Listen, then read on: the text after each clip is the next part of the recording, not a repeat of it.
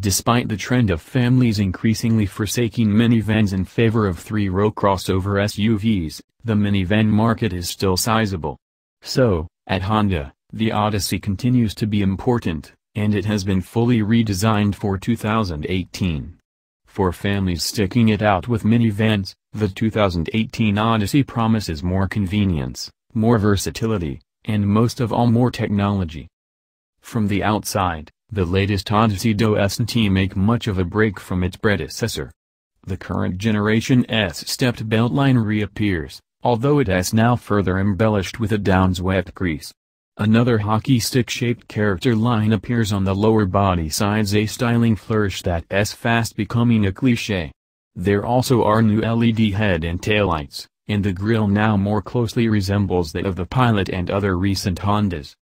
Under the skin, the 2018 Odyssey rides on a new architecture shared with the Pilot and the Ridgeline pickup. A 3.5-liter V6 remains the only engine offering, although output increases from 248 to 280 horsepower. The previous 6-speed automatic has been jettisoned in favor of a 9-speed unit, as seen in the Pilot, while upper trim levels get a new, Honda-designed 10-speed automatic that makes its debut here. The additional ratios, combined with a claimed weight reduction of nearly 100 pounds, should nudge fuel economy in a positive direction, although EPA ratings are not yet available. Sit anywhere. Previous versions of the Odyssey had a removable center section for the second row seats, which allowed seating for three or separated chairs for two. The new Odyssey takes the versatility several steps beyond. First, the middle section can be positioned farther forward, to put a little one strapped into that spot with an easier snot wiping reach for mom and dad. With the center section removed, the outboard seats can be snugged up together, both sliding toward the center. That allows easier access to the third row, particularly with child seats in place, which prevent the seats from being able to fold and slide out of the way.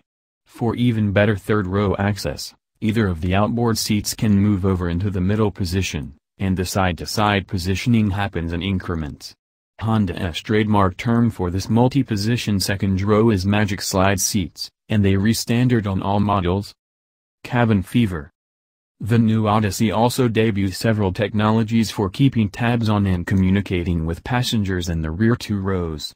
The most intriguing is Cabin Watch, in which an infrared camera enabling the system to work both in darkness or daylight located in the overhead rear seat entertainment system can provide the driver and front seat passenger with a view of the goings-on in back. The image from the camera is projected on the dashboard's central display screen, and pinch and zoom capability allows one to zero in on an individual rear seat rider.